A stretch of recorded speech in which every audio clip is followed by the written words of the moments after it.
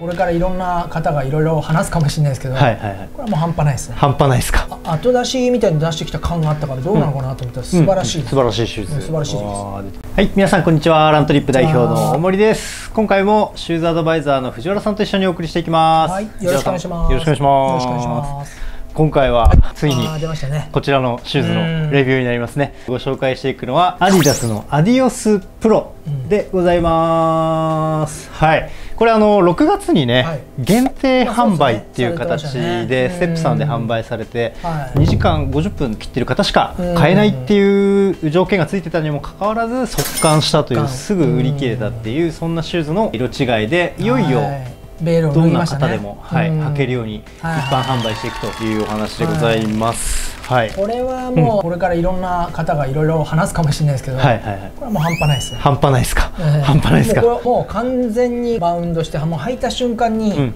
やれそうな感じがする、あまあこういうタイプのシューズに慣れてる方であればもう割と違和感ないあ、ないですと思いますね。確かに、この履いたらわかりやすくこうカクッとなる、そうですね。この転がる感じと、はい。あとは異常なまでに跳ねるっていう感じがもう明確にわかりますね。履いて。バウンドしただけではい。すごく半端なんです、要 はその跳躍のね動作とかしただけでパー。ンパーンってきたんでこりゃいくなと思ったんですけはい、ど、はい。2万7500 7500円。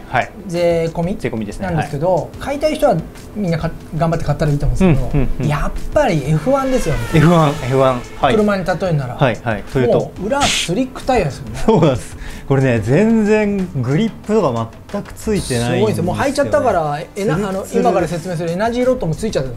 そうですね。ツルツルで F1 のレーシングカーのような。もうもう完全に F1 ですよこれ、F1 ですね。あーですからもう覚悟がいりますね。覚悟がいります。はい。履くのに、はい。もうこれで記録を出すんだと。うん、でもあの本当そうです。あのアディアスを履いてみたいっていう方でしたら、もう間違いなく履いた瞬間にやりそうな感じ出ますから、なるほど。もうもうすぐ50なんではい。勘弁してほしいですけど、いやいやいやいや。あの一応5キロタイムトライしてきたんですよ、はい。ちょっと涼しかったんで。はい。ああもう全然もう普通にいろんな数値がいいです。いいですか？まずもうあのバウンドしている感じで、うん。自分の足以上のうん。もうバネが出てます、はい、あ自分の地足？まさにじゃあ拡張されてるってそうで感じですすね。ねもう完全に leg spring stiffness っていうのがすごい上がっていて、こううんバネが高まってる状態、なるほどなると大森さん言うようにここのこの部分で、はい。GST がもうすごくいいですね。あの ground contact time が非常に短いです、ね、短い。えー。僕らと200ミリセコンド0.2秒以内でついてたんで、うん。もうかなりスッと抜けてる感じ。ああそうですか。はい。へえ。であとはあのストライドですね。これやっぱりこういうシューズって、うん。こうジャンプすれば上に跳ねるんですけど上ですね。斜めにポンって飛んでれば、前に飛ぶ。うん。単純にストライドが増えてるんですよね。なるほど。ストライドもすごい僕身長166ぐらいしかないんですけど、はい。175ぐらい出てたんで。あじゃあ身長以上に前に進んでるってことですね。追い立てたところもあるんですけど。へえ。まあ、その3つのバランスがいいのとなるほど。最後はねやっぱり出力がかなり出てるんですよね、まあ、もちろんあの足をこう結構叩いてたんですけど、うんうん。その感触よりも、はい。ね、レーシングフラットうんもう薄いのでボンボンボンボン頑張ってるのと同じぐらい出力が出てました。あそうですか。だからか体感的にはそんなに叩いてなくて全体的にバネが上がってて、はい。ストライドが伸びてるっていうことで前に進んだのかもしれないですね。なるほど。はい。それなりにじゃあまあ17分20ぐらいだったんですけど、はい。暑いし、うんうんえー夏にしてはいいのかなといういやっていうかまあねもう早いっすそいやいや。もうあのラ途中途中3分20秒付近ぐらいで走れたんですけど、はいはいはい。はい非常にこうリズムもこうはい。バウンドで取りやすい感じです、うんうんうん。まあ、唯一ねあの、うんうん悪いことも言っとこうかなとあそうですね。はいはいやっぱりね柔らかいのかあのグランドコンタクトタイムの左右バランスがいつになく悪かったです。あ右と左ってことですね。あそうなんですね。もう大体僕50-50なんですけど、はいはいこっち48に51ぐらいになってたんで左側がやっぱりうまく使えてなかったんでこれはまあ昨日一発ではい。履いたってこともあるかもしれないけど言い方は良くないですけどレベルによってはうん。マイナス諸刃の剣になる可能性はありますね。ちょっとやっぱり柔らかい。まあでもこの手のシューズはそういうあれですよね。乗りこなすのにそれなりの体だったりとか、うん。トレーニングだったりとか、まあ、フォームがうん。求められるっていうところはやっぱりありますよね。分解パーツみたいな写真が多分ホームページとかもこちらも載せるかもしれないですけどはい。こういろいろ挟んでるんですよね。いろいろ挟まってます、中に。えー。で特にあのエナジーロッツってこうこういう中足骨の形、はいこういうね足のね。足のこの骨に沿ってこう作ったうん。カーボンファイバーだと思うんですけどね、はい。これが入っているっていうことと今まではカーボンのそのプレートだったんですけど、ねうん。5本のバーが入ってるってことですね。それがまあ一番効いてるんで、まあ、屈曲もちろんしてないんですけど5本になってるんですよ。そうです。こうね少しこう凹凸が出てるんですけど、ちゃんと5本のバーの跡が黒く出てるんですよね。すごいですよね。こんなに明確にね。バーの跡が出るっていうのが、で Lightstrike Pro っていうこの素材のパーツを2つを組み合わせてサンドイッチさせてるんですけど、はいはいはい。でなおかつかかとの部分にうん。ナイロンカーボンプレート、うん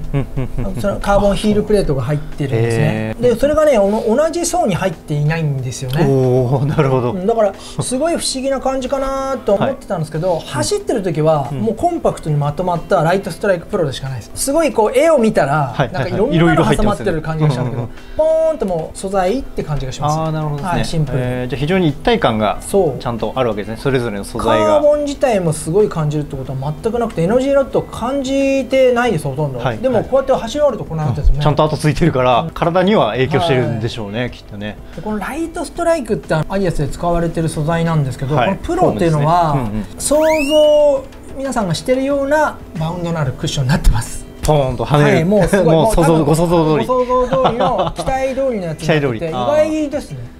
ライトストライクは意外としっかりとしたある程度の硬さとやバウンドがあるソールなんですけど、こん。れはやっぱりちょっとこう確かじゃないですけどちょっと柔らかめのポリウレタン系の素材が混ざっている感じですよねこの表面から言ったあらねそうですか、もう皆さんの期待通りのやつです。バウンドポーンとしてもう履いた瞬間にうわーって感じ。感じしますよね。はい。ちょっとねあ後出しみたいに出してきた感があったからどうなのかなと思ったら素晴らしい、うん。素晴らしい手術、うん素晴らしいです。あとこのラストのところ、マイクロフィットラストと呼ばれてるらしいんですけどはいはいこれについてお願いします。大森俊之さんが作っているっていうか、はい。せあのデザイニングしてると思うんですけど、ほうほうほう要は日本人に合わせるためにうん。0.01ミうんリこだわってはい、まあ、ここ削るとかここ削るとか。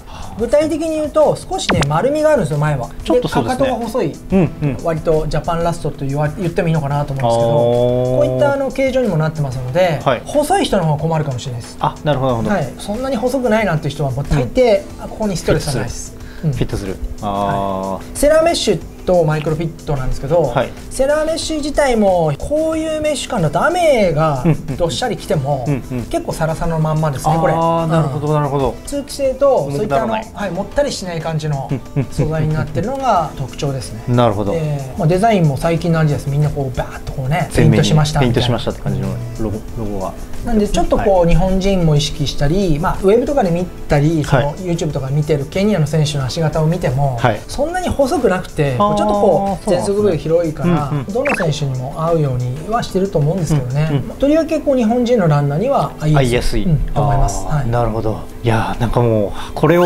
履いてレースに出たいですよね。あ出たいですね。これ本当にレースがね、うん今ちょっとないのが非常に残念ですよね、え楽しみなシューズが出てきたっていう感じがしますしますね。これはもう本当履いてみたいリアルに履いてみたい一つですね、うん、フィット感でいうと藤原さん的にはいかがでしたか？あいいと思いまいい。す特にあのかかとがこうやってもうこれ F1 なんで、はい。全くかかとに芯が入ってないんですよ。だからあ本のあのかかとのフィット感が、はい。まあ、あるんですけど、はい。その分こうかかとのサポートはないんですね。なるほどねですからこの辺りで購入を決めていただいたらいいと思いますね、はいはいはサブ3の人はもうもちろん全然 OK ですし、いうん。3.5うんうん。サブ4の人だこうハーフとかあの、はい。で試してからの方がいいと思います、ああなるほどなるほど。かなりかかとがこう自由っていうのは、自分の体の機能を使いますので、そうですねはい。そうですね。でもあのどなたも短い距離から試していただければ、選手なんかもこれはもう全然喜んで履けるんじゃないでしょうか。まず選手が履いてたら、はいもうやっぱそうなんだなっていうふうになるじゃないですか。なりますね。まあ、実際そうでしょうね、うん。うん。そうですね。これは、うん。誰が履いてくるかまたね、はいその辺もね楽しみですよね、今回アディゼロアディオスプロがですね、まあ、今まで限定で買える非常に限られてたんですけど、うん。9月4日からアディダスさんのアプリの方で、えっと、抽選販売というような形になるようでございます。なのでそちらエントリーしていただければ抽選で、えっと、購入券がゲットできるということなのでぜひそちらね。大変ですね。大変ですね、多分もう殺到するかと思いますけど、うん。ぜひ皆さんそちらの方、応募チャレンジしてみていただければと思います。概要欄の方に URL なんかも貼っておきますので、はい。ぜひそちらからエントリーしていただいて、うん。ぜひ抽選勝ち取っていただければと思います。はい、これはもう買いですよ。買いですね。ということで、この動画面白いと思っていただけた方は、はいぜひチャンネル登録、高評価の方よろしくお願いします。コメントもお待ちしております。それではまた次回の動画でお会いしましょう。さよなら。